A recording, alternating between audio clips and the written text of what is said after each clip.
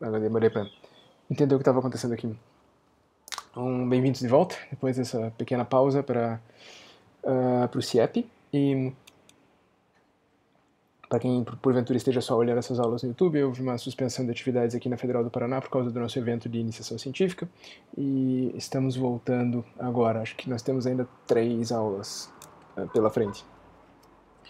Uh, bom, temos material para uma aula provavelmente um pouco mais longa hoje, mas eu acho que em outras situações eu dei um crédito, dei uma folga para vocês. Então vamos ver se essa acaba saindo um pouquinho mais comprida. Vocês me perdoam, por favor. E. Hum, acho que era basicamente isso. Então vamos em frente. Sem maiores suspenses, porque o tema da aula de hoje é mega clássico e divertido, que é uh, The Walrus and the Carpenter, a Morsa e o Carpinteiro. O poema que já inspirou de tudo, uh, a começar, claro, pela música I Am the Walrus, dos Beatles, que merecem a referência. Uh, o poema aparece no, na segunda Alice, né, em Alice através do espelho. Não vamos ficar falando aqui do contexto, porque o poema é razoavelmente longo e eu queria dar uma olhada nele inteiro hoje, pelo menos no original, uh, e depois a gente, se possível, dar uma passada pela minha tradução, só para falar mal de mim e, eu sempre usando aquela desculpa de que a tradução por enquanto é work in progress, né, então pode mudar. E com a, com a fundamental razão de que eu faço isso muito com prosa, é, analisar traduções e com, consigo com grande facilidade ser mais cruel com as minhas traduções do que com a tradução dos outros. É, consigo honestamente encontrar mais mérito na tradução dos outros colegas do que, do que nas minhas. Não tenho nenhum problema para fazer isso, tanto usar os meus exemplos quanto usar os exemplos de colegas para as aulas de tradução e para apontar os problemas e as insatisfatoriedades, por assim dizer, assim como as soluções brilhantes, etc. Uh, ah, mas com poesia a coisa é um pouco diferente e eu descubro que eu sempre me arrependo muito quando faço com as minhas próprias traduções, porque eu só fico vendo defeitos horrorosos uh, e eu não gosto tanto de fazer com as dos outros, porque uh, isso vai ficar claro de novo, já ficou claro em outras situações, mas vai ficar claro agora também. quando a gente começa a analisar um poema para tradução, a gente começa a perceber uma panóplia, um elenco muito grande de problemas, de coisas que devem ser resolvidas ou que podem ser resolvidas.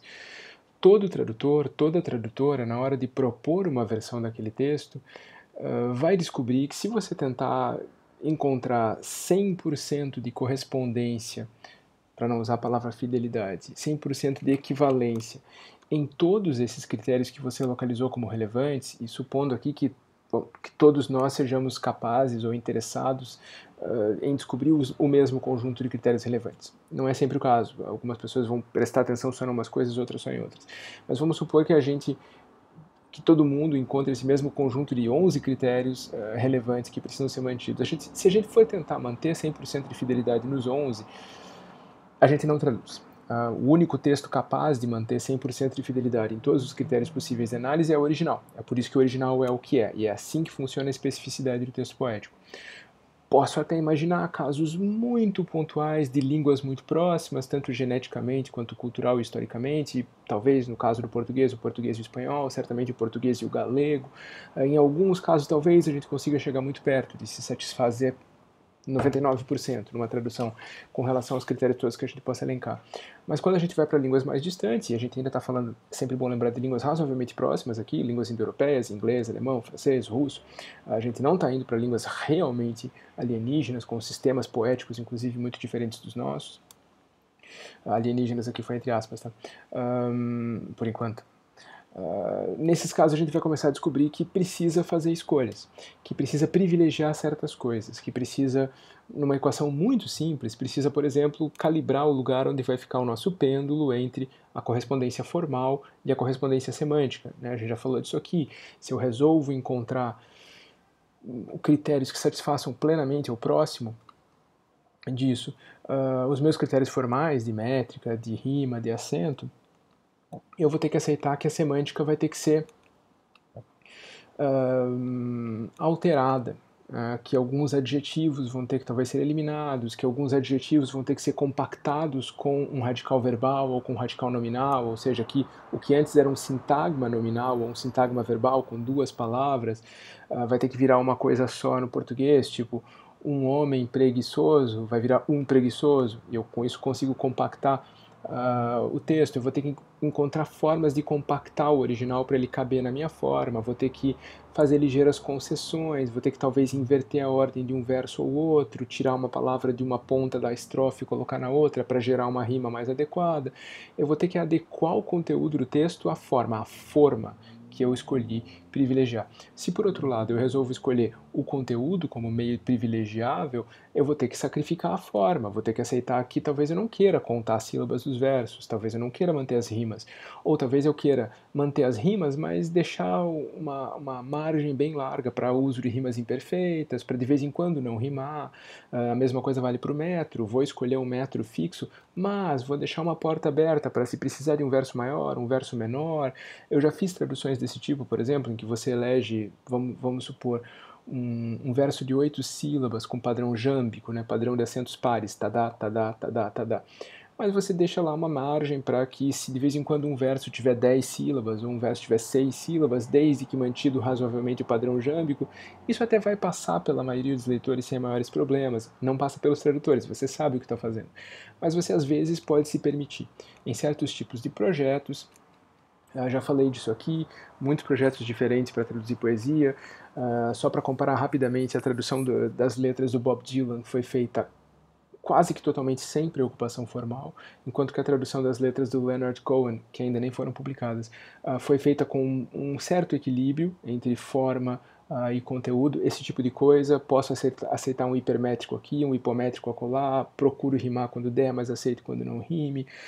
Enquanto que a poesia do Eliot foi feita com a busca de correspondência formal forte, ou seja, eu estou trabalhando com critérios diferentes em situações diferentes. Como a gente já falou aqui, muito especialmente no caso da Alice, um livro com uh, um público potencialmente muito amplo e potencialmente muito variável e selecionável conforme projetos editoriais diferentes, isso fica ainda mais relevante. Né? Eu posso decidir que eu vou querer ou não vou querer esse tipo de correspondência, aquilo de correspondência. Por que, que eu estou dizendo tudo isso? Uh, quando você se põe, portanto, para propor uma tradução de um poema, você primeiro teve que selecionar os critérios que te fazem sentido. Aqui eu estou supondo uma situação desprovida de pauta editorial. Não foi a editora que mandou, fui eu que escolhi uh, como tradutor. Uh, isso vai fazer com que eu tenha um conjunto adicional de dificuldades na hora de analisar a tradução dos outros. Porque a tradução dos outros pode ser 20 vezes mais competente que a minha, mas ela foi 20 vezes mais competente que a minha para atingir metas que não são aquelas que eu defini como relevantes. Isso é estranho, isso é complicado. É difícil a gente separar os nossos próprios critérios. É uma questão. Eu, eu, eu hesito até em dizer que é uma questão de ego. É, é uma questão de uh, perversão interna. Eu funciono desse jeito, eu olho para a tradução de poesia e é isso que eu busco. E quando eu não vejo isso refletido numa outra tradução, eu tenho um pouco de dificuldade de avaliar corretamente os méritos e os deméritos daquela tradução no seu, no seu processo de tentar alcançar metas, resultados e critérios que não são os meus. Uh, e isso, obviamente, vai acontecer com os outros tradutores, as outras tradutoras olhando para os meus textos. Não implica nada quanto a superioridade, qualidade ou qualquer coisa intrínseca. Uh, isso é a minha longa explicação para por que eu me vejo às vezes com dificuldade para uh, analisar a tradução de poesia, às vezes ponto, uh, especialmente para analisar quando eu também traduzi ou estou traduzindo, porque eu, é difícil você tirar as lentes coloridas com as quais você olhou para aquele poema. é difícil você olhar friamente para o critério do outro. Uh, às vezes você consegue, às vezes com tradutores que trabalham com critérios mais próximos dos teus isso é um pouco mais fácil, mas isso já implica uma seleção prévia. Então eu uh, acabo optando por não fazer essa grande análise contrastiva com frequência e vou usar, se chegarmos a usar no final da aula, só a minha tradução da qual eu posso falar mal o quanto eu quiser, inclusive com essa desculpa de que ela ainda pode ser alterada antes da publicação. Beleza? Uh, então o poema está aqui. Uh, do ladinho. Deixa eu dar uma diminuída em mim aqui para vocês verem mais texto. A minha cara você já conhece. Uh, sem maiores delongas, né? Título tradicional do poema é esse, A Morte e o Carpinteiro, The Walrus and the Carpenter. Maravilha, não precisamos pensar em muita coisa aqui. Uh, precisa ser uma morsa e um carpinteiro? Há uma certa margem, né? Posso trocar esse bicho? Posso trocar esse profissional? Hum, talvez. Uh, sempre com aquele tipo de preocupação. Vai ter ilustração? Não vai ter ilustração? As ilustrações são ou não são uh, pré-estabelecidas uh, pelo projeto editorial, esse tipo de coisa. Uh, mas então, vamos por enquanto não falar nisso. Vamos dar só uma olhada na primeira, uh, a primeira estrofe. Ah, houve uma quebra aqui, esse, esse, esse travessão estava aqui, vamos supor que ele continue aqui para não quebrar a estrofe. Uh, o texto diz: The sun was shining on the sea, shining with all his might. He did his very best to make the billows smooth and bright. And this was odd because it was the middle of the Night. Isso é absolutamente lindo. Uh, dá uma felicidade ler, ler esse tipo de coisa. Uh, já vamos falar um pouquinho do, do sentido, mas primeiro vamos dar uma parada para olhar na coisa que é normalmente a mais conspícua quando se fala de forma poética, que são as rimas. A gente percebe muito nitidamente aqui um padrão de rimas razoavelmente firme. Uh, eu tenho i, it, ache, it, us, night. Então eu tenho três rimas em it, nas posições pares de uma estrofe de seis versos, e eu tenho os três versos ímpares dessa estrofe não rimando. Tá? Eles estão soltos. Ah, o que pode fazer supor várias coisas. Pode fazer supor, primeiro isso, um, um, um modelo de estrofe em que só os versos pares rimam. Ah, esse modelo pode fazer supor também, na verdade, um, um tipo de canção em que isso tudo aqui seja lido como um verso só. The sun was shining on the sea, shining with all his might. He did his very best to make the billows smooth and bright, and this was odd because it was the middle of the night. Posso pensar nesse jeito. E na verdade, quando a gente for ouvir o poema, a gente provavelmente vai ouvir o poema desse jeito, porque as rimas são uma marca muito forte de fim de unidade, de fim de célula. Então, aqui é uma questão meio que de. Uh, tomato, tomato. Né? Eu posso expandir como dois versos, posso expandir como um só, desde que eu represente graficamente como está aqui no original, como, como dois versinhos quebrados. Já vamos falar um pouco da unidade métrica disso. Tudo bem. Mas uma outra coisa que pode fazer supor também esse tipo de estrutura, e que você sempre deve desconfiar quando você vê, é que essas rimas soltas podem reaparecer na estrofe seguinte. Então posso estar lidando com um poema que tem um esquema de rima dentro da estrofe e um outro esquema de rima transestrofes. Isso não é muito frequente, mas acontece. A gente, uma mera espiada aqui embaixo vai nos mostrar que não é esse o caso. Eu tenho sulkily, sun, there, done, said, fun. Nenhuma rima entre sulkily, there, said e see, make, was. Então estou aparentemente diante de uma situação do tipo xa, xa, xa, ou seja, não rima, rima igual, não rima, rima igual, não rima, rima igual. Um, maravilha, né? Já é um problema só de bater o olho para um tradutor para o português aqui por causa da palavra night. Uh, a palavra night é uma desgraça, ela rima facinho em inglês, aqui a gente está vendo duas rimas bem baratinhas, bright e might. Ele não usou a rima light, que é a rima óbvia para rimar com night. Uh, ela vive aparecendo em traduções por aí. Uh, mas a rima vem fácil, um pacote de rimas com, uh, com night, sem maiores problemas. E em português a coisa é enjoada. A palavra noite não rima com quase nada, uh, praticamente só rima com açoite, é quase uma piada, né? Fica comigo essa noite e não te arrependerás, lá fora o frio é o açoite. Uh, esse tipo de situação, né? Difícil encontrar grandes rimas com noite, a gente já sabe que vai ter problema para lidar com isso quando for, quando for trabalhar. Uh, pensando metricamente, the sun was shining on the sea. Eu tenho um versinho de oito sílabas, uh, com acentos na segunda sílaba, the sun, na quarta, was shy, e aí, ning on the sea, na oito. Eu não tenho acento na sexta sílaba, uh, que eu posso forçar esse acento na leitura, né? The sun was shining on the sea. Posso forçar só para ficar claro qual é o padrão métrico. A gente já intuiu, como de costume na tradução de poesia de língua inglesa, que a gente está lidando com o padrão jâmbico, ou seja, o padrão de acentos nas sílabas pares. A gente sabe também que eu não preciso usar todos esses acentos nas sílabas pares, que eu posso inclusive usar um ou outro acento em sílabas ímpares, posso pular simplesmente o acento da sílaba par, e isso funciona para a variedade métrica do poema. Ah, vejam que inclusive isso aqui está feito com bastante competência, ah, porque eu uso dois, os dois pés iniciais muito claros, the sun was shy, E depois que eu estabeleci a minha regra, o terceiro lugar onde eu posso dar uma variada, nem on the, e daí se para marcar. Ah, se fosse um, se fosse o Jared Manley Hopkins, o poeta inglês, gostava de dizer isso. Se existe um lugar em que você pode variar o padrão, é o terceiro pé. Porque os dois primeiros estabelecem a regra e o quarto confirma que você continua naquela regra. Ah, o quarto ou o quinto, se houver especialmente um quinto. Mas o terceiro é esse lugar em que você está com algum lugar, uma margem possível de variabilidade. Você não está nem na abertura nem no fechamento, que são esses lugares importantes, fortes, para marcar uh, o teu tipo de verso, você pode variar exatamente o que acontece aqui. Então, a gente pode pensar assim, estamos lidando com um tetrâmetro jambi, com um verso de oito sílabas em acentos, com acentos pares. The sun was shining on the sea. Uh, o seguinte já quebra um pouco a nossa expectativa, porque ele diz shining with all his might.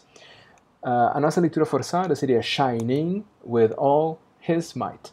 E aí eu teria a alternância de verso de oito sílabas e de seis sílabas, que é super comum na poesia popular, religiosa, musical uh, de língua inglesa. É o famoso versinho da Emily Dickinson, em que eu tenho essa alternância de um verso mais longo e um mais curto, normalmente oito sílabas e seis sílabas, dentro desse padrão uh, jâmbico. Uh, no entanto, há uma alternância violenta no primeiro pé, né? porque ele não diz shining with all his might, mas shining with all his might. Esse verso faz a gente tropeçar um pouco. Né? Mesmo na minha leitura, talvez eh, eu percebi, talvez vocês tenham percebido.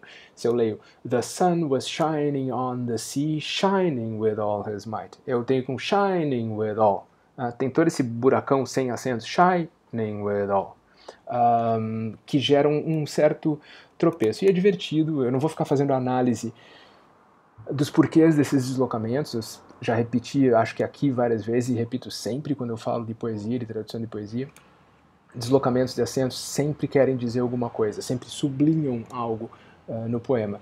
Uh, e aqui a gente tem esse shining uh, estranho. Esse shining é estranho. Esse shining não devia estar aqui. E se a gente for lembrar do sentido da estrofe, esse é justamente o sentido de toda a estrofe. Esse shining, esse brilho, não devia estar aqui. Por quê? Porque é o meio da noite. É, não faz sentido. Esse shining é estranho, esse shining é deslocado. Então, a gente tem uma correlação bem interessante aqui entre desvio métrico e desvio semântico. Uh, posso confirmar isso, o esquema métrico, nos, versos seguintes. He did his very best to make. He did his very best to make. Oito sílabas, acentos pares. The billow smooth and bright. The billow smooth and bright. Seis sílabas, fraca forte, fraca forte, fraca forte uh, divertido, uh, um, um, poeta menos seguro, e eu já falei disso, tanto como prosador quanto como poeta, o Carroll dá um salto considerável da primeira Alice para a segunda, um poeta menos seguro possivelmente usaria, não vamos falar da semântica, mas possivelmente usaria essas duas grades métricas em inversão. Ou seja, eu começo o poema com um verso de quatro, de quatro uh, quatro jambos, um tetrâmetro jâmbico, e um verso de três, um trímetro, muito quadradinhos, e daí eu vou fazer minha, os meus desvios, vou começar a quebrar o meu swing no segundo dístico. Ele começa com as quebras. Ele começa com dois versos irregulares, tá? uma irregularidade lá no meio do primeiro, uma irregularidade logo no começo do segundo e daí usa o terceiro e o quarto para estabelecer o padrão. Ele começa na irregularidade e assenta na regularidade depois. É uma forma mais sofisticada de lidar com esse tipo de variação. Aí a gente vai para o parzinho final aqui. And this was odd because it was. Não só é um verso de quatro pés jâmbicos, oito sílabas, acentos pares, mas ele tem uma cesura, é uma pausa bem no meio. And this was odd because it was ah, existe a cesura separando em 4 e 4, e essa cesura tá, não está no meio de um pé, né, o que poderia acontecer. Está separando unidades uh, autônomas. Uh, e o verso final, the middle of the night. Esse acento aqui não existe, posso forçar, the middle of the night, mas ele não existe na verdade, eu tenho um ligeiro tropecinho aqui. Conclusão geral métrica, eu tenho o padrãozinho jâmbico de sempre, tetrâmetros nas posições ímpares que são os versos que não rimam, e trímetros, versos de três pés, nas posições pares, que são as que rimam. Esse esquema não é ad hoc, não foi o Carroll que inventou, também não é o mais comum do mundo, mas ele é bastante familiar. Um leitor de língua inglesa não acha isso estranho. Isso passa tranquilo na urina, uh, por assim dizer. Uh, um esquema razoavelmente próximo de uma estrofe conhecida de cordel, em português, uma estrofe que teria o mesmo esquema de rimas, XA, XA, XA, mas que seria escrita em versos de redondilha maior, né? versos de sete sílabas, uh, com acento predominantemente ímpar, mas o acento da redondilha é uma coisa complicada. Então, se alguém quisesse propor uma equivalência funcional, ou seja, não vou traduzir por esse verso que não tem tradição em português, vou traduzir por um verso que fala ao coração do leitor brasileiro, uh, poderia tranquilamente traduzir por uma estrofe desse tipo, de sete sílabas. Veja que eu nem ganho nem perco sílabas, né? Eu continuo tendo 14 sílabas por dístico. Aqui eu tenho 8, 6, na nossa redondilha eu tenho 7, 7. Então continuo dentro do mesmo esquema rímico. Lógico que isso vai acarretar diferenças de acomodação na hora de traduzir, mas continuo com o mesmo número de sílabas, continuo com o mesmo número de versos, posso manter o padrão de rima, seria uma escolha para lá de satisfatória. Eu já adianto que não foi a minha, porque eu gosto de manter os esquemas uh, originais. Uh, formalmente é isso, rimicamente, já de cara aqui, vamos, vamos ver estrofe a estrofe, né? mas num primeiro momento as rimas são perfeitas e acadêmicas, escolares, corretas. Uh, já sei qual é o meu tipo de problema. Ah, existem essas, esses desvios, né? tem um desvio aqui, tem um desvio aqui, tem um desvio aqui. Ah, ah, nesses dois casos, do primeiro e do último verso, desvios por ausência, ou seja, acentos que não existem, o acento da sexta sílaba aqui, o acento da quarta sílaba aqui, deveriam existir e não existem, e aqui um tipo de desvio mais violento, que é um tipo de desvio por inversão, ah, ou seja, não só eu tenho a troca da posição do acento dentro do pé, o pé deixa de ser uh, jâmbico e passa a ser trocaico, passa a ter um acento na sílaba ímpar e o não acento na sílaba par. Uh, idealmente, portanto, o que eu gostaria de encontrar um, como correspondência formal forte aqui? Versos de 8 e 6 sílabas, acentos predominantemente pares, poucos desvios, eu tenho só três desvios na estrofe inteira, uh, rimas nos versos pares, uh, correspondência formal forte não implica necessariamente que eu tenha que ter, talvez, vamos dizer, eu tenho três desvios, dois por ausência, um por inversão. Aí um grau de obsessão que nem eu tenho, mas vamos supor que seria isso. Mesmo nesse caso, eu não diria que esses desvios precisavam estar nas mesmas posições. Ah, talvez eles tivessem que estar, por exemplo, se eu fosse marcar esse shining e esse shining estivesse em outro lugar do verso, talvez fosse mais importante marcar o desvio por inversão naquela palavra ou na palavra que trouxesse a mesma semântica para o poema do que marcar nessa posição da grade, ou seja, nas duas primeiras sílabas uh, da grade. Uh, ou, seja, mesmo num grau obsessivo de correspondência formal, eu talvez não precise trazer essa grade abstrata e colocá-la no meu poema em português exatamente do mesmo jeito. O que eu preciso é uma questão meio quantitativa. Eu preciso do mesmo número de desvios e do mesmo, ah, do mesmo tipo de correspondência entre esses desvios e a semântica. Já vou dizendo que isso é muito difícil de se obter, e aqui a gente está falando de uma estrofe. A gente tá, daqui a pouco vamos ter que pensar no poema inteiro. É muito difícil de se obter uh, com qualquer grau de satisfação. O que, que eu tiro como critério daqui para o que eu chamo de correspondência formal exigente, dura.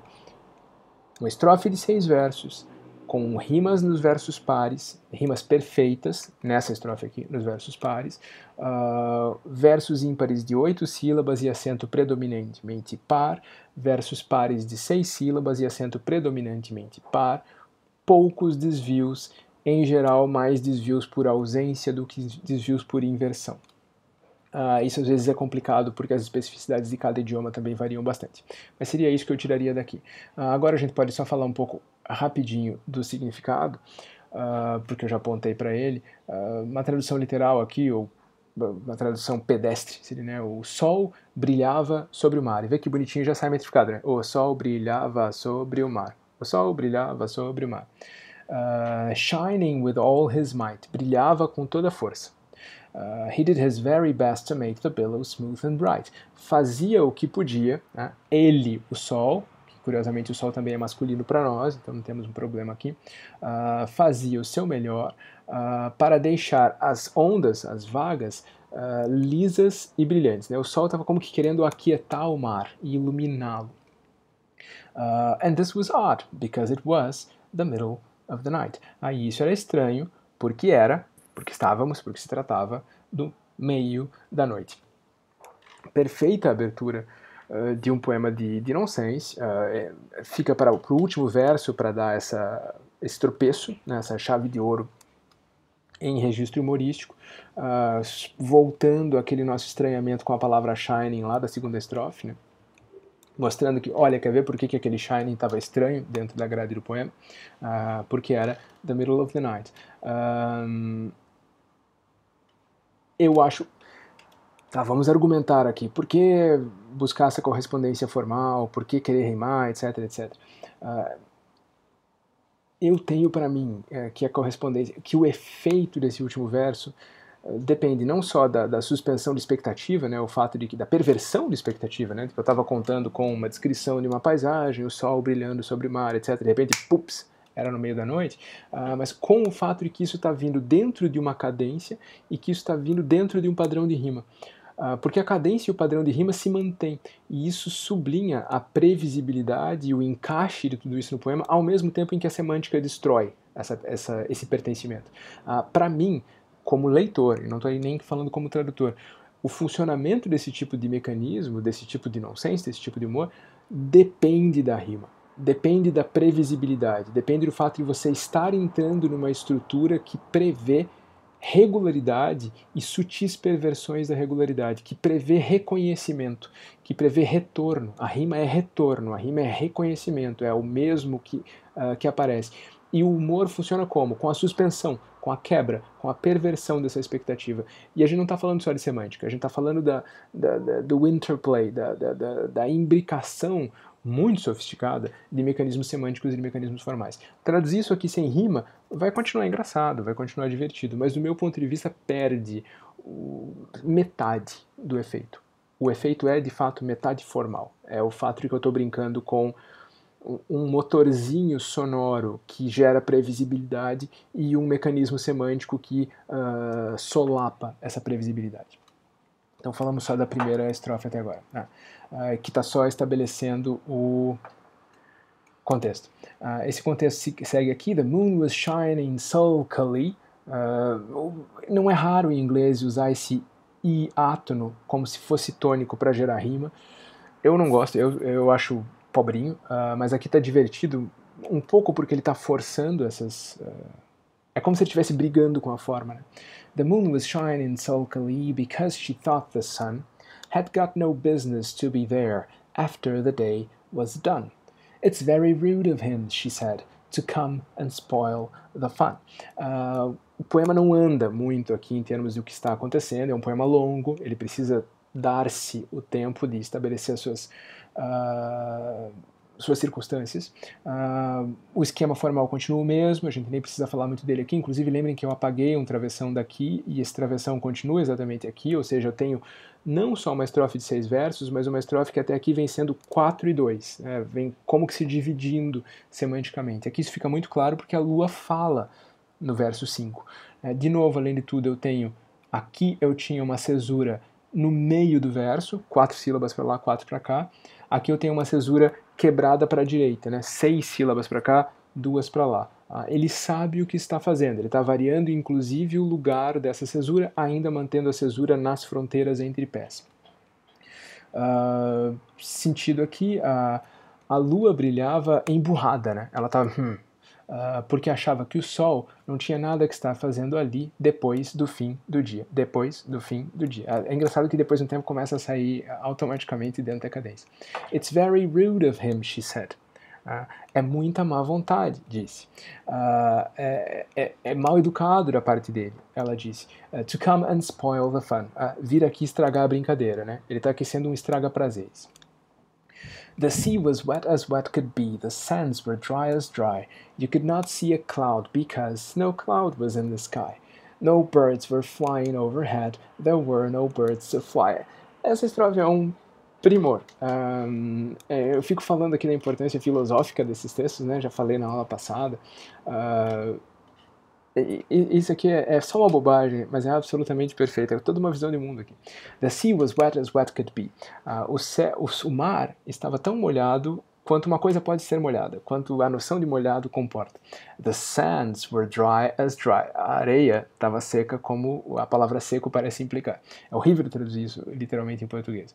Uh, o que, que isso traz de informação né, nesse mundo bizarro em que coisas estranhas acontecem, o céu e a lua estão ao mesmo tempo, o sol, desculpa, e a lua estão ao mesmo tempo no céu e à noite, porque isso às vezes até pode acontecer de dia, mas agora é noite. Mas outras coisas continuam em ordem. O mar continua molhado e a areia continua seca pacas. You could not see a cloud. Você não podia. E aqui é divertido, porque you could not see a cloud a gente pode trazer facilmente por não se via nuvem alguma, não havia nuvem alguma. Mas é interessante que ele está fazendo uma, uma brincadeirinha bem infantil aqui com you could not see a cloud. Você não podia ver nuvem alguma, porque não havia nuvens. Por que você não podia ver nuvens? Porque não havia nuvens. Uh, no birds were flying overhead. Nenhum pássaro voava no alto. There were no birds to fly. Não havia pássaros para voar.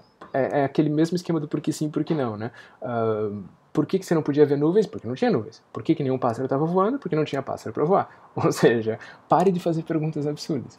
Não vou fazer maiores comentários formais porque a gente continua muito dentro daquele esquema, uh, daquele nosso esquema previsto. Uh, ganhei café. Uh, muito dentro do nosso esquema previsto. The sea was wet as wet could be, the sands were dry as dry. You could not see a cloud because no cloud was in the sky. Aqui a gente tem uma ligeira alteração. Was in the sky. No birds were flying overhead. There were no birds to fly. A gente está dentro de uma cadencinha bem bonitinha e volto a dizer essa previsibilidade e esse essa tranquilidade que a rima e a cadência trazem vão o tempo todo brigando com o fato de que, em termos de semântica, nada aqui é previsível, nada aqui é lógico e nada aqui é confortável. Esse esquema todo da música, da cadência, da recorrência, vai brigando com o fato de que o que se está descrevendo é profundamente incômodo e estranho. Mesmo quando é estranho e incômodo, por uma bobagem como aqui. The Walrus and the Carpenter. Aqui a gente tem o The Walrus and the Carpenter. Eu não preciso desse acento no car, mas o poema meio que impõe esse acento. E essa é uma outra, uma outra situação em que existe briga de expectativa e de realidade. Porque quando esse esquema se estabelece, quando esse esquema jâmbico, essa cadência jâmbica se estabelece, você começa a empurrar acento quando lê mentalmente ou quando lê recitando, mesmo desses acentos não existem. E você começa a ter uma situação em que existe uma briga entre a tua expectativa da presença do acento na posição par e a negação desse acento por uma outra palavra, por uma outra situação. De novo, me parece um mecanismo que favorece o humor, favorece a surpresa, favorece a brincadeira, a invenção. Aí aqui a gente vê agora um outro problema além de tudo. Eu tinha pensado lá atrás em quais são as questões de traduzir o título do Walrus and the Carpenter, pensei, posso trocar o bicho? Não posso? Posso trocar a profissão? Aqui eu tenho que pensar, putz, esse título é um verso, e é um verso jâmbico, ou predominantemente jâmbico, de oito sílabas. Então, além de tudo, eu tenho que encontrar amorcio carpinteiro. Vai funcionar, mas eu preciso encontrar alguma coisa que funcione categoricamente. The walrus and the carpenter were walking close at hand. They wept like anything to see such quantities of sand. If this were only cleared away, they said, it would be grand. Uh, a Morse e o carpinteiro estavam caminhando por ali, close at hand. They wept like anything to see such quantities of sand. Eles choravam a mais não poder, choravam desesperadamente por ver tanta areia. Eles não queriam ver areia. Uh, bom, primeiro, de novo, a gente nem falou aqui do par absurdo, a morsa e o carpinteiro. Né? A morsa e a foca, o pedreiro e o carpinteiro, mas a morsa e o carpinteiro, e ninguém nem estranha que haja uma morsa passeandinho com o carpinteiro. Os dois não gostam de ver areia, e aqui a gente tem de novo uma quebra no quarto verso, aqui está marcada por dois pontos, não por um travessão, uh, ah, para começo de um diálogo. If this were only cleared away. Ah, se isso aqui fosse tudo eliminado, né? se essa areia fosse tirada daqui. They said, it would be grand. Lembrem que lá atrás aquelas cesuras apareciam no verso 5 em geral, aqui a cesura está aparecendo no verso 6, e ao invés de ter um esquema 4-4 ou um esquema 6-2, aqui eu tenho um esquema 2-6. As pessoas não estão brincando aqui, crianças. A pessoa sabe o que está fazendo. É a terceira cesura que aparece e a terceira que aparece na terceira posição diferente. Ele está o tempo todo sabendo que ele está usando um esquema de variabilidade e, de novo, brincando com a expectativa, com a previsão de regularidade que o próprio esquema formal concede para o poema. Né? Termos de rima aqui, uh, nada muito terrível, hand, sand, grand, mesmo com a pronúncia britânica, isso ia rimar razoavelmente bem. Uh, hand. Uh, hand não rima tão bem com grand, eu acho, na maior parte das pronúncias britânicas de hoje, mas rima, tá ok. Uh, aí eles continuam falando. Aqui pela primeira vez agora, o, o diálogo começa já na abertura da estrofe. Né? If seven maids with seven mops swept it for half a year, do you suppose, the walrus said, that they could get it clear? I doubt it, said the carpenter, and shed a bitter tear.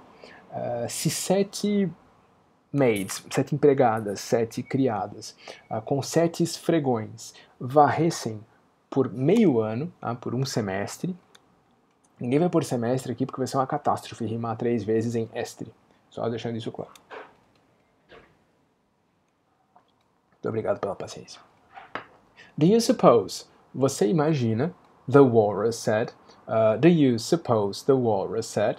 Um, veja, agora a cesura está num verso de oito sílabas, né? É, quatro e quatro de novo. Do you suppose? The walrus said that they could get it clear. Né? Que elas iam conseguir liberar essa região aqui?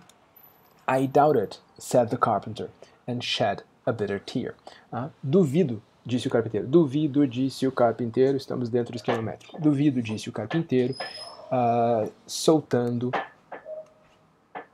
soltando triste lágrima. Verso horroroso, mas cabia no metro. Uh, and shed a bitter tear. E derramou, uh, derrubou uma lágrima amarga, né? uma, uma lágrima de tristeza. Uh, esse é o braço da professora Sandra voltando para a sua posição aqui. Uh, I doubt it, said the carpenter and shed a bitter tear. De novo, rimas todas em ordem, não rimas tudo em ordem, o esquema métrico está fluindo como a gente devia esperar. Uh, oh, oysters, come and walk with us, the walrus did beseech. A pleasant walk, a pleasant talk along the briny beach. We cannot do with more than four to give a hand to each. Uh, não tinha ostras nenhumas no poema, mas a gente já está esperando que as coisas apareçam e desapareçam assim de maneira meio absurda. Uh, ele de repente se dirige, apostrofa essas ostras. Apostrofa as ostras seria uma boa expressão de colocar no poema. Ó oh, ostras, come and walk with us. Ó oh, vinde caminhar conosco. The walrus did beseech. Beseech é um verbo raro, mas aqui ele está usando para rimar com beach. A gente está tá cantada essa rima, né? Na hora que ele diz beseech, você diz deve vir beat na sequência. Já, acho que a gente já falou disso aqui, né? Que o, o Brito diz que o, que o Byron costuma funcionar ao contrário, né? Primeiro vem a palavra comum, que ele está usando pela semântica, e depois vire-se para encontrar uma rima bizarra. Aqui é o, o esquema que eu costumo recomendar para tradução. Se você vai usar uma palavra forçada, use primeiro a forçada e depois a natural. Isso dá menos na cara que você teve que forçar a onda para encontrar uma rima. Por exemplo, vai ter que usar um infinitivo, vai ter que usar comprar, que é triste, ter que rimar com infinitivo, é sempre uma, uma solução de desespero, uh, tenta rimar com um substantivo, tipo mar, uh, e aí fica menos barato do que rimar dois verbos no infinitivo, e tenta usar uh, o infinitivo na primeira posição. Daí o mar na segunda. Aí não parece que você na segunda posição, quando precisava da rima, teve que recorrer ao infinitivo. Você diz, não, foi pro substantivo que é mais sofisticado aqui. Ó, oh, ostras, vinde caminhar conosco, a, a morsa solicitou, convocou. A pleasant walk, a pleasant talk along the briny beach. Essa rima aqui é outra dessas rimas óbvias que recorrem em canções pop até hoje, né? Walk e talk é tipo park e dark, night e light. Uh, divertido aqui é que ela aparece como rima interna. Uh, eu tenho de novo uma cesura no meio do verso. A pleasant walk, a pleasant talk, 4 e 4, e esses 4 e 4, na verdade, formam dois uh, hemistíquios rimados. Eu tenho walk e talk, é, é uma coisa que o Carroll gostava de fazer uh, e que eu não acho que se deva desconsiderar. Ele rimou no meio do verso, a gente pode tentar aqui. Então a gente está dentro de um verso ímpar, que é um verso que não rima, mas esse verso, curiosamente, rima dentro de si próprio. Não rima com os outros versos da estrofe, mas rima dentro de si próprio. De novo, não tem uma estrofe até aqui que não tenha uma novidadezinha formal. Uh, uma caminhada agradável, uma conversa agradável pela praia uh, briny, uh, salgada, cheia de salmoura. We cannot do with more than four. A gente só dá conta de quatro. Nós não podemos dar conta de mais de quatro. To give a hand to each, uh, para pegar na mão de cada uma. Nós somos dois, uma morsa e um carpinteiro. Cada um tem duas mãozinhas. A gente consegue dar mão para quatro ostras. The eldest oyster looked at him, but never a word he said. Uh, tem um probleminha de canção aqui, né? The eldest oyster looked at him, maravilha, but never a word he said. Esse verso parece ter nove sílabas.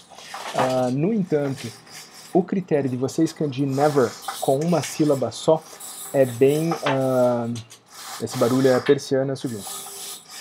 é bem tradicional. Você encontra desde a poesia do século XVII tranquilo, já no século XVI. Então, um leitor uh, calejado, que já está dentro desse padrão do poema desde o começo, já chega aqui nem pensa duas vezes. The eldest oyster looked at him, but ne'er a word he said. Eu não preciso nem que isso venha marcado. Uh, em edições de Shakespeare é frequente que isso venha marcado, ou seja, corta-se o V e coloca-se um uh, apóstrofozinho ali. Uh, eu nem preciso disso. Isso é uma coisa que o leitor já, já conhece. Portanto, esse verso é hipermétrico, mas não tropo. a gente sabe que eles leriam isso sem maiores problemas. Uh, but never a word he said, the eldest oyster winked his eye and shook his heavy head, meaning to say he did not choose to leave the oyster bed. Uh, a ostra mais velha, e veja que aqui não é elder né, mais velha, é a mais velha de todas. Né, tipo, a anciã, a veterana das ostras, olhou para ele, but ne'er a word he said. Mas não disse uma palavra, não abriu a boca. A ostra mais velha, é legal esse paralelismo aqui, né? The eldest oyster looked, the eldest oyster winked. Uh, piscou um olho, uh, deu uma piscadela e sacudiu sua cabeça pesada. É divertida a piadinha da cabeça pesada, que é uma ostra, concha toda. Uh, meaning to say he did not choose, querendo dizer, equivalendo a ter dito que ele preferia não sair da oyster bed, né, do, do, do ostreiro, do canteiro de ostras, por assim dizer. But four young oysters hurried up, all eager for the treat. Their coats were brushed, their faces washed, their shoes were clean and neat. And this was odd because, you know, they hadn't any feet. Uh, desculpa a cara de feliz aqui, mas essa é outra estrofe genial. Uh, mas quatro ostras jovens uh, saíram correndinho, all eager for the treat, super ansiosas por essa por esse presente, por essa novidade, né? A treat é uma coisa que você dá para alegrar alguém all eager for the treat. Their coats were brushed, their faces washed. Uh, veja que não é uma rima, brushed e washed, mas é quase. Their coats were brushed, their faces washed, their shoes were clean and neat. Estavam com os casacos escovadinhos, o rosto lavado, a carinha lavada.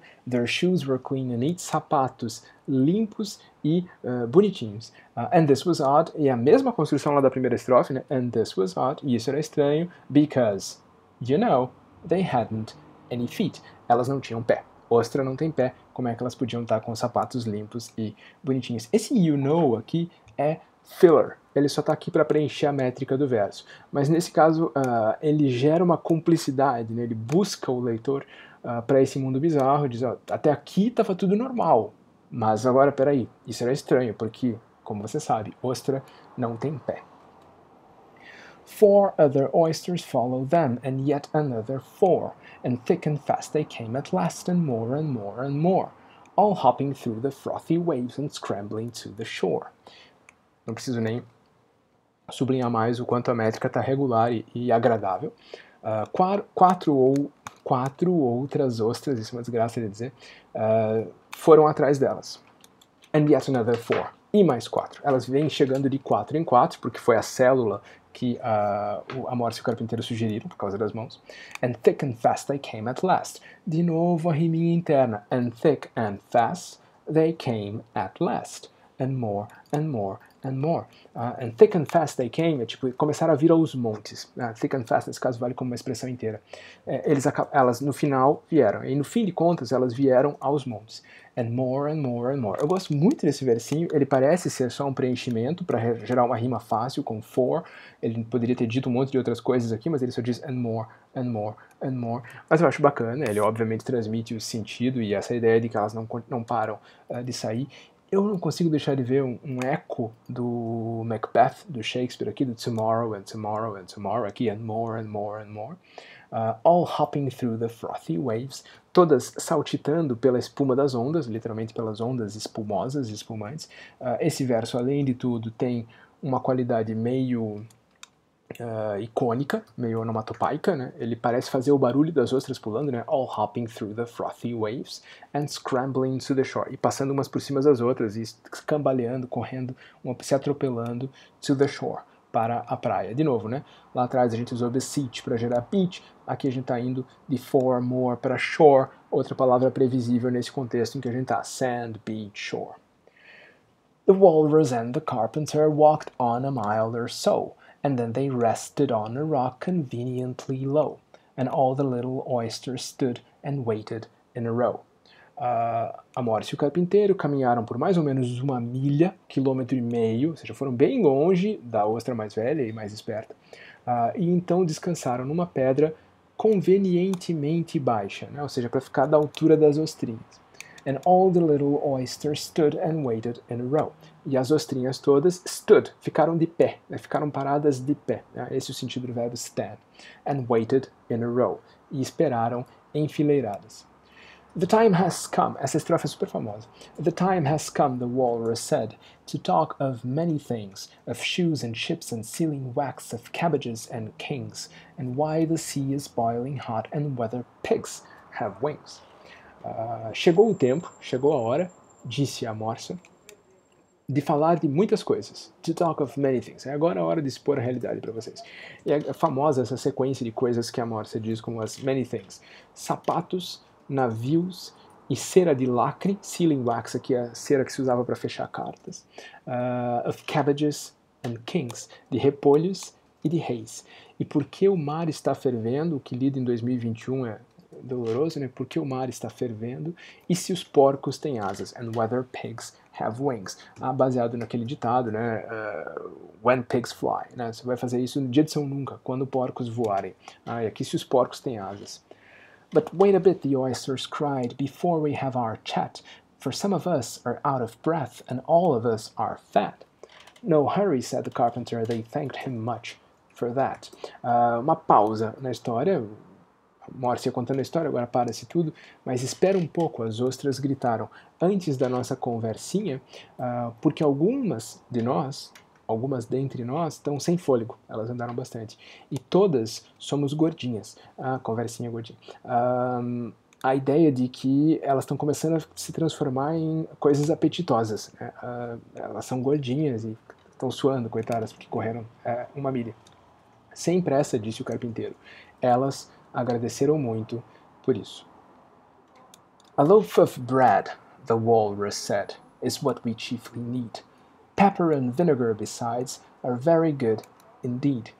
Now, if you're ready, oysters dear, we can begin to feed. Dá uma olhada só nesse terceiro verso aqui. Uh, basicamente, a loaf of bread, the walrus said, uh, um, pedaço, um pão. Uh, em inglês, pão é, é, é, incontável, né? Você não diz a bread, one bread, você tem que dizer a loaf of bread, um, um pão de fora, a gente pensa. The walrus said, a morsa disse, is what we chiefly need. É a nossa necessidade principal, é a coisa de que a gente precisa mais.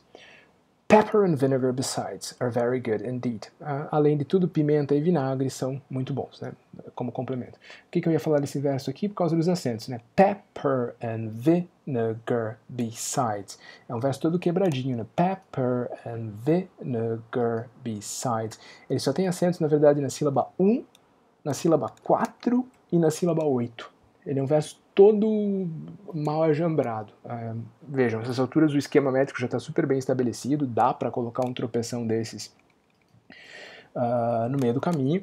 Aqui ele aparece num ponto importante no poema, uma quebra, porque é aqui que as ostras percebem que o bicho vai pegar, né? Uh, a coisa agora está virada para elas. Pepper and vinegar, besides, are very good indeed.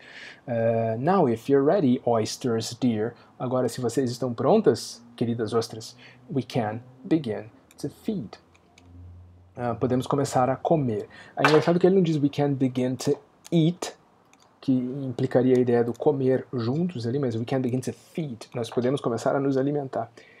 Um, só como comentário de passagem, eu falei aqui oysters dear, traduzido por caras ostras, pensa no inferno que é encontrar uma rima para ostra em português. Diga-se passagem, oyster também não ajuda muito em inglês, é um pouquinho mais fácil, cloister, já de saída, mas uh, não é uma vida muito massa, não.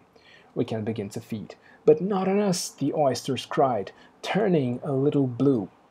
Mas não com a gente, não vão comer a gente, as ostras gritaram. Turning a little blue. De novo, uma inversão de acento, né? não é turning a little blue, mas turning a little blue. Ah, você tem um momento de expectativa. E vejam que essa virada está na palavra turning, virada, né? virando. After such kindness, that would be a dismal thing to do. Depois de tanta gentileza, isso seria uma coisa terrível de se fazer, né? Comer a gente. The night is fine, the walrus said. Do you admire the view? Lembrem que até agora as estrofes todas funcionaram como células, não só métricas e rímicas, mas semânticas. Essa é uma primeira estrofe em que a gente tem uma quebra de um, enunciador e enunciatário. A gente tem as, as ostras falando nos primeiros quatro versos, né? Putz, não lembro uma coisa dessa. E nos dois versos finais é a ostra que toma a palavra, a morsa que toma a palavra. A gente tem uma inversão da lógica do discurso até agora. ou seja, as expectativas estão ficando cada vez mais quebráveis. Primeiro eram métricas, depois eram formais em geral, uh, depois começam a ser semânticas, agora a estrofe está sendo fragmentada, está uh, sendo comida literalmente, né? e as coisas começam a mudar de figura. Uh, Para que eu estou dizendo tudo isso? Falei lá atrás, né? posso optar por trocar um verso de lugar, optar por uma estrofe diferente, trocar uma palavra de, li, de, verso dentro da estrofe, mas esses mecanismos às vezes são importantes, né? Por que, que isso agora acontece? Essa é a primeira estrofe em que isso acontece. Ah, mas não vão comer a gente, disseram as ostrinhas, ficando meio blue. Não preciso traduzir blue por azul, né? Ah, pode ficar meio roxa, é o que a gente diz normalmente. Depois de tanta gentileza, depois de tanta gentileza, ah, seria uma coisa horrorosa de fazer. Ah, e a, não só a Morsa interrompe, mas ela interrompe dizendo uma coisa meio genérica, né? Uh, que noite bonita, disse a moça. Estão achando a vista bonita? It was so kind of you to come, and you are very nice. The carpenter said nothing but, uh, said nothing but, cut us another slice. I wish you were not quite so deaf. I've had to ask you twice. Uh, que gentileza de vocês terem vindo. Vocês são muito bacanas. Vocês são muito simpáticos. Uh, esse and uh, quase é a gramatical aqui, né? It was so kind of you to come, you are very nice. Uh, o and está aqui só pela métrica, né? It was so kind of you to come, and you are very nice. O carpinteiro não disse nada, né? não, uh, não abriu a boca, mas corte outra fatia do pão. Né? Uh, queria que você não fosse tão surda, ele está se dirigindo à Morsa. Eu já tive que pedir duas vezes. A Morsa está preocupada falando com as ostras e veja que aquela quebra estranha prossegue, porque agora a gente tem esses dois primeiros versos sendo, na verdade, parte do discurso que começou na estrofe anterior, então eu tenho como que uma estrofe de quatro versos que pertence metade a uma estrofe, metade a outra. Tá? As coisas estão mudando de lugar mesmo. Uh, corte outra fatia, queria que você não fosse tão surda, eu já tive que uh, pedir duas vezes. It seems a shame, the walrus said, to play them such a trick, after we've brought them out so far and made them trot so quick. The carpenter said nothing but the butter spread too thick. Uh, Parece uma pena, parece uma vergonha. É uma vergonha, disse a morsa. Uh, passar a perna nelas desse jeito, né? Play them such a trick. Depois de ter trazido elas tão longe e feito elas andarem, trotarem, literalmente, tão rápido. Uh, o carpinteiro não disse nada. Repete-se a estrutura, né? The carpenter said nothing but. The carpenter said nothing but. Uh, duas vezes a mesma, o mesmo verso. Uh, the butter spreads thick. Você está passando muita manteiga no pão.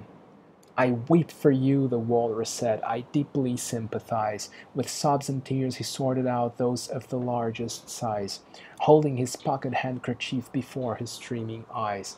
Eu choro por vocês, a Morsa disse. É engraçado que o carpinteiro vai pegando essa, essa figura mais cruel, né? ele não fala, ele só diz, passa essa comida aí, e a Morsa que parece que tem um dilema ético. Né? Eu choro por vocês, a Morsa disse. I deeply sympathize. Ah, eu sinto o sofrimento de vocês no fundo do meu coração. Uh, com soluços e lágrimas, ele foi separando as ostras mais gordinhas, né, as que eram maiores. Holding his pocket handkerchief, segurando seu lenço de bolso, é lógico que é a morsa que tem um bolso e um lenço, uh, diante dos olhos que jorravam lágrimas. Né? Ele está, de fato, muito conflituoso, o morso. Oh, oysters, said the carpenter. E agora ele toma a palavra. You've had a pleasant run. Shall we be trotting home again? But answer came there none and that was scarcely odd because they'd eaten everyone. Ó oh, ostras, mesma fórmula que já apareceu lá atrás, né? Ó oh, ostras, disse o carpinteiro. E agora que ele toma a palavra, e agora que as coisas uh, mudam de figura, né? Uh, You've had a pleasant run. Isso aqui é, é complicadinho. Uh, eles disse, a Morris acabou de dizer que tinha feito elas correrem, né? Trot. elas vieram rapidinho tão longe, porque elas têm perninha curta. aparentemente. Uh, então parece ser esse o sentido aqui, né? Vocês deram um passeio agradável, deram uma corridinha agradável. Mas o sentido aqui é meio metafísico, né? You've had a pleasant run, no sentido em que, por exemplo, um espetáculo tem a run, um período em que ele está em cartaz, né? Os atores poderiam dizer, we've had a pleasant run. A gente teve uma temporada uh, agradável. Uh, portanto, é o fim da vida delas, né? You've had a pleasant run. Complicado encontrar essa sombra de duplo sentido em português também. Shall we be trotting home again? Será que não é a hora de a gente voltar para casa? But answer came there none. Uh, um verso completamente virado sintaticamente. O normal seria But there came no answer. Uh, não veio uma resposta. But answer came there none. Unicamente para gerar essa rima, óbvio. Né? Run, none, one. Riminha perfeita. Uh, and that was scarcely odd. Lembram daquela estrutura, né? And that was odd. Duas vezes. E agora, isso não era estranho. And that was scarcely odd because e a gente termina o penúltimo verso nessa suspensão porque they'd eaten, they'd eaten everyone. Eles tinham comido todas, ou todas elas. Uh, não vou falar de, da interpretação do poema aqui, gente, essa é uma aula de tradução, mas já se fez de tudo uh, interpretar as figuras da morte do carpinteiro como uma figura de Buda e uma figura de Cristo, como as elites e os comunistas, todo tipo de coisa já foi feito. Essa figura do carpinteiro que agora ou sarcasticamente diz querem voltar para casa e come todo mundo, ou meio metafisicamente esse carpinteiro é a morte né, e diz vamos voltar para casa. You've had a pleasant run. Ah, o seu tempo já acabou. Será que vamos voltar para casa? E elas morrem todas. O poema termina de uma maneira absolutamente lúgubre, uh, com essa dúvida sobre qual é o papel desse carpinteiro aqui. Ele é um tapado, ele é um, uma figura cruel que representa a morte unicamente. Uh, bom, isso de novo fica para aulas que não sejam exclusivamente de tradução.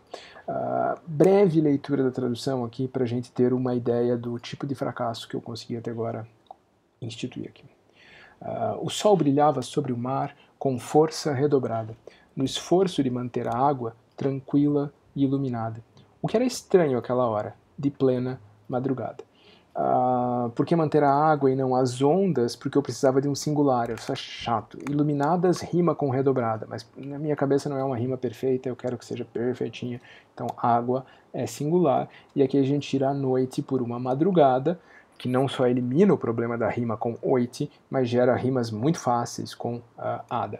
Então o sol, ritmicamente acho que está ok, né? O sol brilhava sobre o mar com força redobrada, no esforço de manter a água tranquila e iluminada, o que era estranho àquela hora de plena madrugada. A gente tem que prestar atenção agora nesse o que era estranho, porque essa é a estrutura que vai ter que ser repetida.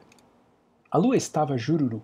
O sol não poderia estar no céu, pensava ela, depois do fim do dia.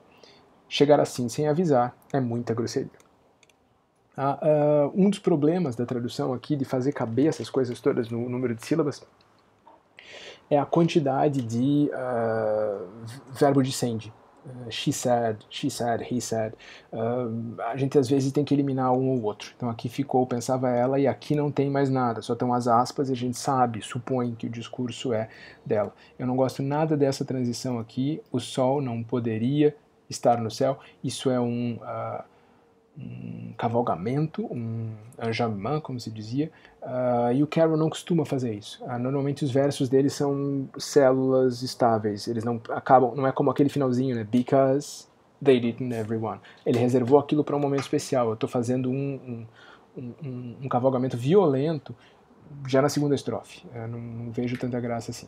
Gosto do Jururu, ainda repetiria. Ah, e de novo, rimas fáceis. Poderia, dia, grosseria. Aquilo que eu falava lá atrás, né? A rima em ia é uma rima bem banal. Uma forma de desbanalizar um pouquinho é o fato que eu só estou usando um futuro do pretérito. Aqui eu rimo com um substantivo e aqui com outro substantivo, que tudo bem, tem um sufixo que é rico, eu posso fazer várias palavras com ia, Uh, mas aqui eu tenho um substantivo que tem o ia no seu radical. Então eu estou rimando três palavras bem diferentes. Uh, com isso eu dou uma desvagabundada na rima vagabunda. Uh, a lua estava jururu, o sol não poderia estar no céu, pensava ela, depois do fim do dia. Chegar assim sem avisar é muita grosseria. Aí vem aquela estrofe absurda, né? O mar estava bem molhado, a areia toda enxuta.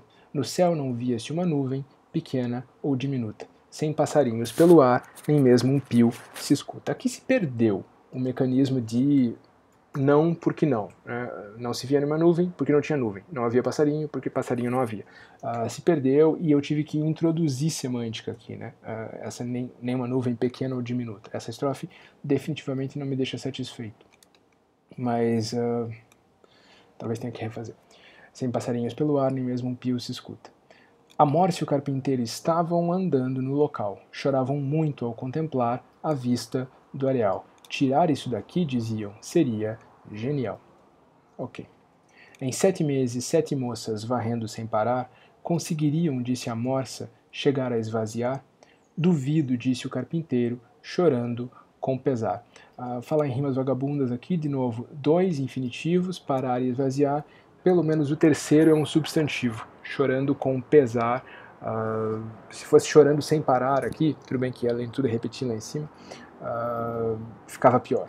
Pelo menos eu tô, não estou usando três verbos infinitivos. Em sete meses e sete moças, acho que fica ok. Uh, gero, além de tudo, uma quase rimas moça, morsa. É uma gracinha, à toa. Conseguiriam, disse a morsa, chegar a esvaziar? Duvido, disse o carpinteiro, chorando com pesar. Ó ostras, venham, caminhemos. Uh, eu gosto disso aqui, me lembra a música, caminhemos, talvez nos beijarmos depois. Eu sempre gosto de usar esse caminhemos. Ó ostras, venham, caminhemos. A morsa disse então. Se preparem, o tradutor está levantando a bola para usar outras rimas, rimas fáceis em ão. A morsa disse então. No sal da areia, quem passeia tem grande diversão. Aqui é a busca pela rima interna lá de trás, né? A pleasant walk, a pleasant talk. No sal da areia, quem passeia tem grande diversão. Mas só podemos levar quatro, pegando pela mão. A velha ostra olhou a morsa, calada, nem falava. A velha ostra então piscou num gesto que negava. Dizia assim que preferia ficar bem onde estava. Aqui eu estou rimando sim, três imperfeitos em ava. Eu estou me concentrando nas rimas porque eu sou ruim de rima, então estou falando das coisas que não deram certo. aqui eu tô, não tem desculpa. Estou rimando três vezes infinitivos de primeira conjugação, é uma rima bem banal, uma rima bem simples. As rimas do original não eram assim tão absurdas também, mas uh, o poema perdeu qualidade de rima ao passar para o português. Está rimando, até aqui está rimando perfeito, mas a riqueza das rimas é definitivamente menor. Uh, repito a mesma estrutura, a velha ostra, a velha ostra, a velha ostra olhou a morsa, a velha ostra então piscou, uh, dizia assim que preferia ficar bem onde estava. Mas quatro ostrinhas aceitaram, com toda boa fé vestindo roupas elegantes, sapatos sem chulé. O que era estranho, convenhamos, pois ostra nem tem pé. Uh, dessa estrofe eu gosto. Uh, acho legal a sugestão aqui absurdinha dos sapatos sem chulé, lá era shoes were neat, clean and neat. Uh, ostra nem tem pé, acho bacana, óbvio. Uh, a boa fé lá de cima não é uma distorção tão grande assim, elas vão animadas, né, elas vão empolgadas. Um, aqui a gente tem o convenhamos no lugar do you know, o que não é forçado, eu acho que funciona bastante bem. Essa estrofe flui legal, né? Mas quatro ostrinhas aceitaram com toda boa fé, vestindo roupas elegantes, sapatos sem chulé, o que era estranho, convenhamos, pois ostra nem tem pé.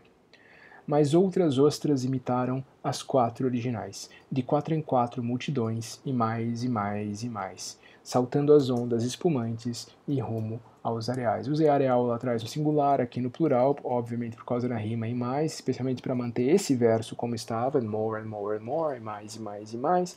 Uh, essa inserçãozinha semântica aqui das quatro originais não é um grande crime, eu acho. E a estrofe de novo flui direitinho. Talvez o maior problema aqui seja esse outras ostras, que é bom, mas é ruim, porque é difícil de falar. Talvez as pessoas tropecem demais aqui na hora de ler em voz alta. A Morse e o carpinteiro então andaram um bom pedaço, que a gente está com uma rima mais divertida.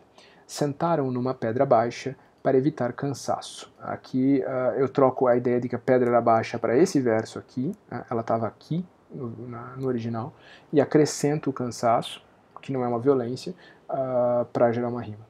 E a fila de ostras se estendeu por todo aquele espaço. No original elas ficam uma atrás da outra em fila, aqui eu jogo a fila para trás e a fila de ostras se estendeu por todo aquele espaço. Chegou a hora, disse a morsa, de tudo mencionar. Sapatos, barcos, ceravelas, repolhos, reis e o lar. Veja que eu tenho mais coisas aqui do que no original. Porque o oceano está fervendo e porcos vão voar. De novo as rimas em ar, de novo uma misericórdia aqui, porque eu uso um substantivo no meio do mix, para não ficar ali com três verbos no infinitivo. Chegou a hora, disse a morsa, de tudo mencionar, sapatos, barcos, cera, velas, repolhos, reis e o lar, porque o oceano está fervendo e porcos vão voar. Espere, as ostras exclamaram, precisa tanta pressa? Tem gente aqui que está sem ar e gente gorda a beça. Tranquilo, disse o carpinteiro. Gostaram da promessa. Uh, gosto do som da estrofe, gosto da rima pressa beça, bem mais preciosa que as outras. Uh, mas aqui a gente tem que forçar um pouco com gostaram da promessa, fica sem o sujeito, dá para entender que são as, as outras, espero, mas uh, acho no geral 80% satisfatório. Por este pão, a morsa disse, sou muito agradecida. Isso é inventado, né? O original só diz, a gente, o que a gente realmente precisava era de um pão. E presumivelmente o carpinteiro passa o pão para ela. Uh, dessa vez ela diz, por esse pão, sou muito agradecida. Eu meio que troco o que está subentendido. No original é um pedido que é contemplado, aqui já é o agradecimento da, dessa contemplação. Por esse pão, a Marta diz, sou muito agradecida. Pimenta e um pouco de vinagre são a melhor pedida. Queridas, se estiverem prontas, é hora da comida. Ah, de novo, não é hora de comer, é hora da comida. Mas não há gente. Amedrontada, a fila então reclama. Depois de tanta gentileza, seria um melodrama. Que noite linda, disse a morsa. Que belo panorama. Aqui as rimas são boas, melodrama, panorama, palavras mais raras, uh, uma única forma verbal. Uh, mas não há gente amedrontada, a fila então reclama. Curti. Uh, bondade sua vir conosco, mas que satisfação. De novo, aquela ligeira gramaticalidade do and do original, que aqui virou um mas, parece um tropecinho, parece que ele, parece que ele não sabe exatamente o que dizer, né? O que faz sentido com o fato de que ele é, o, é quem está torturado com a história. O carpinteiro disse apenas: preciso de mais pão. Você parece até que é surda, eu peço sempre em vão. Ah, esqueci de comentar lá atrás ah, que aqui tem a repetição né, do o que era estranho, para ficar igual uh, lá em cima. Uh, aqui a gente volta ao um, carpinteiro. O carpinteiro disse apenas, que a gente vai ter que repetir uh, mais para frente. O carpinteiro disse apenas: preciso de mais pão. Você parece até que é surda, eu peço sempre em vão. no original ele disse que teve que pedir duas vezes. Acho que mantém-se o sentido geral, a, a dinâmica do discurso dos dois ali uh, que ele está pedindo coisas e não recebe. Um golpe desses, disse a moça, até parece errado. Ah, no original ela, ela não quer uh, trick them, né? não quer passar a perna nelas. Aqui é um golpe. Um golpe desses, disse a moça, até parece errado. Depois de andarem tanto assim e em passo acelerado, o carpinteiro disse apenas menos amanteigado. Hum, que acho que funciona ok. Uh, três uh, formas verbais, errado, eu acho que me parece um pouquinho já adjetivo, mas uh, três formas de verbais, uh, de verbos da primeira conjugação de novo, nenhuma rima muito maravilhosa, mas a estrofe flui direitinho. Um golpe desses, disse a morsa, até parece errado, depois de andarem tanto assim e em passo acelerado. O carpinteiro disse apenas, menos amanteigado. Eu sinto muito, disse a moça, meu pranto é sem tamanho, né? ela está chorando desesperadamente, e soluçando separava a elite do rebanho, e o lenço que levava aos olhos tomava um belo banho.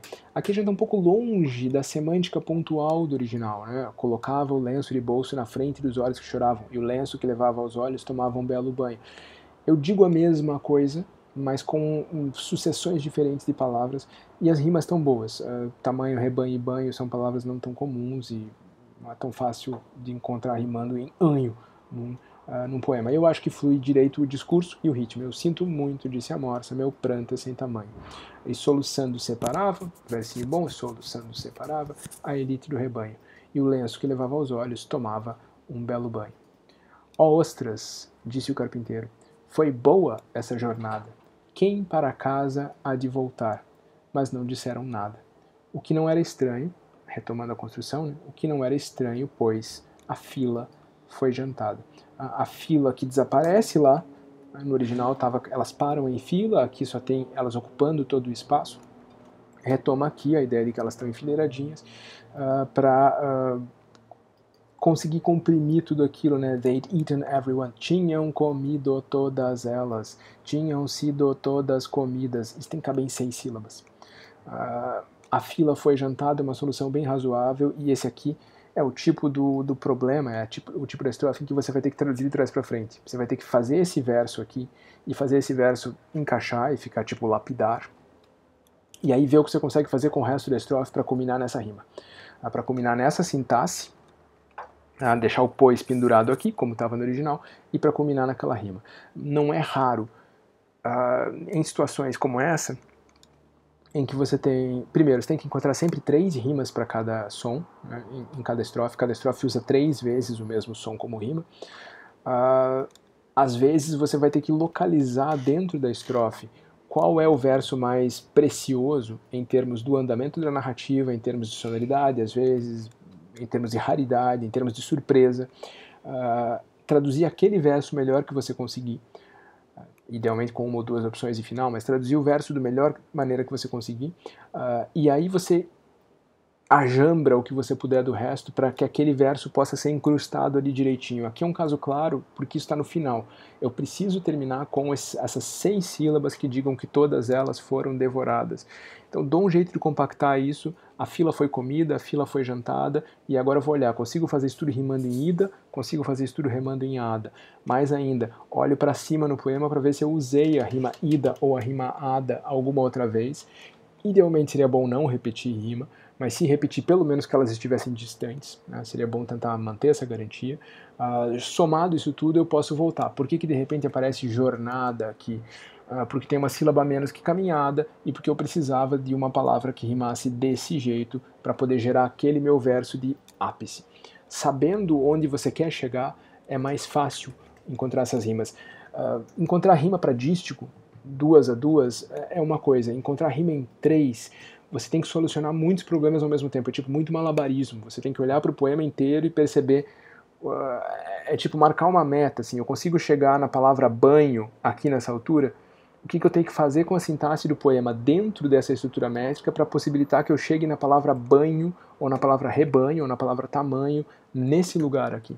A, a elite do rebanho, por exemplo, a, a as de maior tamanho, se eu diz original, as, as, maiores, as mais largas. Eu podia ter usado o tamanho aqui, mas eu acabei precisando usar o tamanho lá em cima, porque era o único jeito de fazer alguma palavra em anho caber naquela história de ela estar chorando demais. Então eu tinha usado a palavra tamanho aqui, mas acabei tendo que jogar para lá. O que, que, eu vou fazer agora? Corre lá para o dicionário de rimas, olha, vê se tem alguma inspiração. Hum, rebanho dá. Selecionando as maiores, selecionando, separando a elite do rebanho. Funciona. Né? Quebra algum, algum galho frequentemente o teu controle de perdas vai envolver inclusive decidir onde que eu vou usar, onde que eu vou forçar mais a mão, onde que eu vou usar a palavra menos adequada, porque eu preciso que uh, a, a coisa funcione. Nesse, às vezes o que acontece mesmo é que você, depois de um tempo, já está comprometido demais com o projeto.